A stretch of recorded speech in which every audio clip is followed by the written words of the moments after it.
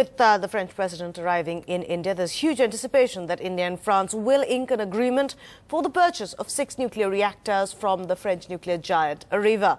France hopes to sell 1,650 megawatt European pressurized reactor or the EPR, which is the world's single largest nuclear reactor. The first of these reactors is under construction in Finland, and NDTV science editor Pallav Bagla had a first-hand look. In its womb, this reactor will house more than 100 tons of enriched uranium. Uranium that can generate a whopping 1,650 megawatts of electricity. Three of these together can light up all of New Delhi. This is the world's single largest nuclear reactor. One its French manufacturers, Areva claims, uses 15% less uranium compared to other similar reactors. The, the, EPR is the safest nuclear plant in the world. It has been designed the way to be the safest.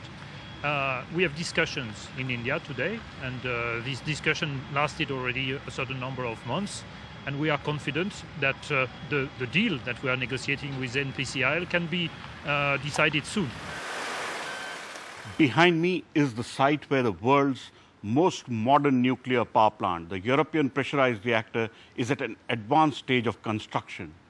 India hopes to buy six of this very same reactor to be put at Ratnagiri in Maharashtra, in the hope that electricity generated from Ratnagiri would reach Kalavati, Rahul Gandhi's Kalavati, in her home. And the hope is that India would be able to seal this deal before the end of this year. These EPR reactors are under construction in Finland, France, and China. Each of these giants cost $4 billion. If India buys six at $24 billion, the deal will go down as one of the world's single largest nuclear contracts till date. Yet, none of these new reactors have become operational anywhere in the world.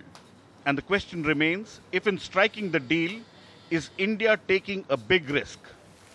With camera person Ajmal Jami in Finland, Pallav Bagla for NDTV.